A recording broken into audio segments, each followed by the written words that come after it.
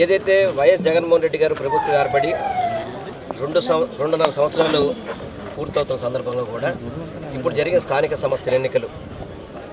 కుప్పంలో సైతం పూర్తిగా కూడా చంద్రబాబుని చీపమ్మనే విధంగా రిజల్ట్స్ ఇవ్వడం జరిగింది. ఎందుకంటే కుప్పంలో చంద్రబాబు నాయుడు గారు బస చేశారు ప్రతి సందు తిరిగాడు. అదేవిధంగా నారా లోకేష్ అయితే ప్రతి ఇల్లు తిరిగాడు ప్రతి గడప తిరిగాడు ప్రతి వాళ్ళ కాళ్ళు పట్టుకున్నాడు. ఎన్నో రకాల ప్ర ప్రయోగాలు చేశారు.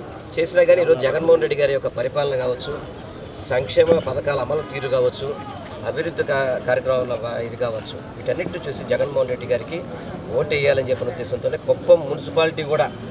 ఎందుకంటే ఇందాక మా కన్మాబు గారు చెప్పిన ప్రకారం ఏదో వైఎస్ రాజశేఖర రెడ్డి గారు ఏం చేయలేపారని చెప్పిన దానికి ఒక నిదర్శనం చెప్తాను ఎందుకంటే ఇవాళ ఇదివరకు ద- దేశంలో నేనే చక్రం తిప్పాను ప్రధానమంత్రి నేనే నియమించాను రాష్ట్రపతి నేనే నియమించాను అన్నాడు.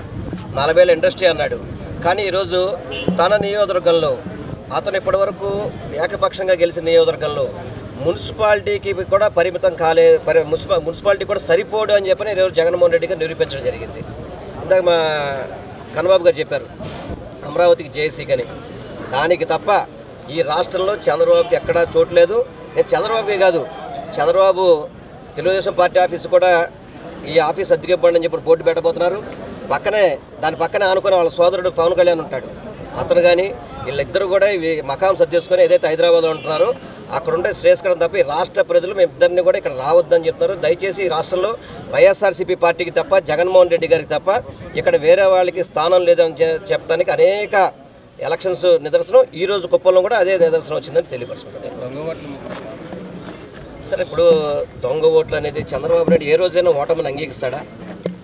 ప్రజలను అవమానించడమే. ఎందుకంటే ఓటేసిన ప్రజల్ని డబ్బులకు అమ్ముడుపోయాడని చెప్పని మద్యానికి బానిసయ్యారని చెప్పని చెప్పడం తప్ప ఏ రోజు కూడా అతను నలభై ఏళ్ళ ఇండస్ట్రీ అని చెప్పని పద్నాలుగేళ్ళు ముఖ్యమంత్రి చేశారని చెప్పని దిక్కుమాల ఎన్నో చెప్పుకుంటూ వస్తాడు తప్ప నేను చేసిన నేను చేసిన తప్పుల వల్ల జరిగిందని చెప్పి సమీక్షించుకుంటూ అదేవిధంగా నిన్న మిత్రిరెడ్డి రెడ్డి గారు కూడా ప్రెస్ మీట్లో బ్రీఫ్గా చక్కగా చెప్పడం జరిగింది. ఎక్కడ కూడా కుప్పంలో కానీ ఎక్కడ ఏజెంట్లు ఇక్కడ అవినీతి జరిగిందని కానీ ఇక్కడ అక్రమాలు జరిగిన దొంగ ఓట్లు పడ్డాయని చెప్పి ఎవరు చెప్పాల?